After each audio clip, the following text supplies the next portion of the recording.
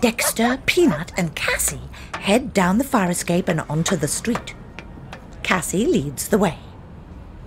Once they arrive at their building, they go upstairs and into the apartment.